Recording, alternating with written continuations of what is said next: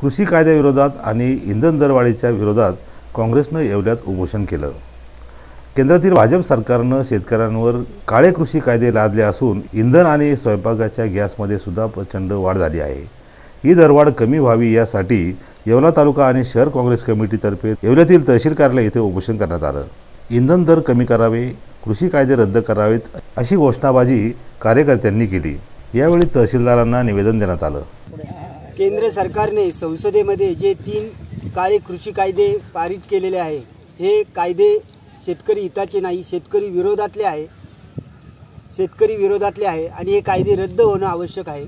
यासाठी आज काँग्रेस पक्षातर्फे संपूर्ण देशामध्ये हे लाक्षणिक उपोषण केलं जात आहे.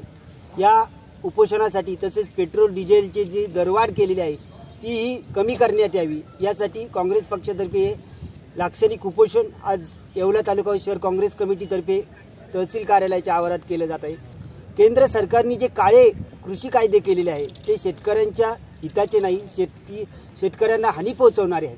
ते त्वरित रद्द होणं अत्यंत आवश्यक आहे.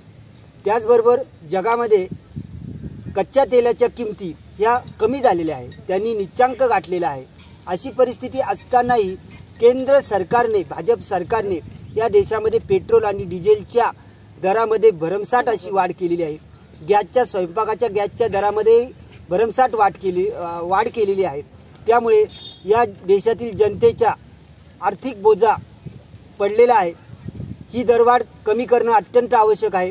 त्यासाठी येवला शहर व तालुका काँग्रेस कमिटीतर्फे तहसील कार्यालयात हे आजचं लाक्षणिक उपोषण केलं जात आहे. आंदोलनात नाशिक जिल्हा काँग्रेस कमिटीचे सरचिटणीस आणि येवल्याचे प्रभारी भैयासाहेब देशमुख ज्येष्ठ नेते बाळासाहेब मांजरे सुरेश गोंधळी तालुकाध्यक्ष ॲडव्होकेट समीर देशमुख शहराध्यक्ष प्रीतम पटणी कार्याध्यक्ष नानासाहेब शिंदे बळीराम शिंदे युवक अध्यक्ष मंगल परदेशी संदीप मोरे राजे शिंदे विलास नागरे किसान काँग्रेस सेलचे अध्यक्ष बाळासाहेब सोनवणे अण्णासाहेब पवार राजेंद्र गनोरे शिवनाथ खोकले कैलास घोडेराव सुखदेव मडवई नि नितीन झालटे आकाश घोडेराव तेजस थोरात सहभागी झाले होते.